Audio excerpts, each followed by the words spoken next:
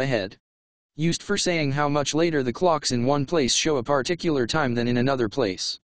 The clocks in New York are three hours ahead of the clocks in Los Angeles.